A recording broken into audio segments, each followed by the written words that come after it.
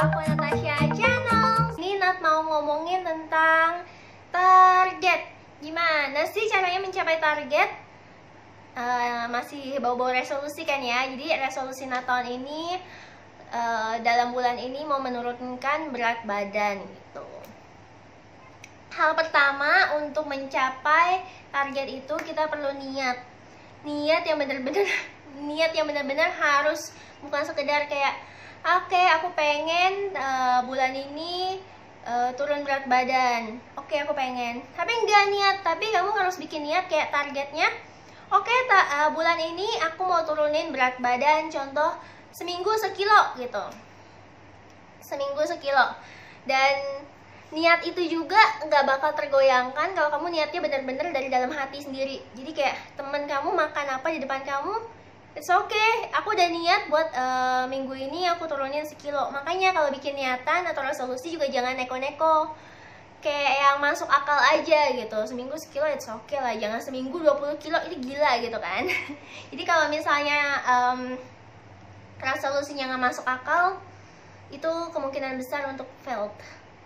Dan yang kedua itu adalah strategi atau planning karena sebuah resolusi atau pencapaian tanpa strategi itu sia-sia karena kacau balau gimana bisa mencapai kalau kamu aja nggak tahu? Harus uh, misalnya kita mau ke Bandung gimana ya pergi ke Bandung? Nggak tahu gimana pokoknya mau ke Bandung gitu kan nggak bisa.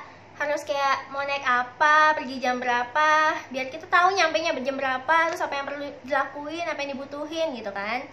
Jadi perlu yang namanya planning kayak hari-hari tuh mau makan apa? Hari-hari tuh apa yang nggak boleh dimakan? Hari-hari apa sih yang harus dikerjain? Exercise itu seperti apa? Dan yang terakhir adalah um, kerja keras. Kerja keras kenapa? Karena dalam mencapai resolusi atau target ya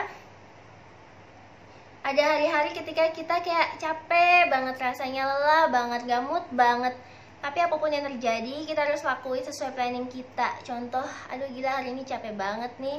Atau uh, udah pulang malam terus harus uh, harus masih harus olahraga. Tapi ya mau gimana? Itu harus dilakuin. Mau mencapai target nggak? Kalau masih bisa dilakuin bukan karena sakit misalnya tipes gitu terus harus lari. Ya enggak nggak jangan sampai begitu juga. Cuma kalau kayak kayak oke hari ini pulang capek banget nih mager karena mager nggak boleh gitu harus tetap lakuin olahraga mungkin porsinya dikurangin gitu. Ya kita tahu diri kita sendiri lah ya sampai batasannya semana. Nah kalau Nat sih tipsnya begitu untuk mencapai resolusi. Kalau kalian ada yang gimana? Ada yang mau nambahin? Boleh komen di bawah ya. Terima kasih. Jangan lupa untuk subscribe like atau share kalau kalian merasa ini berguna. Thank you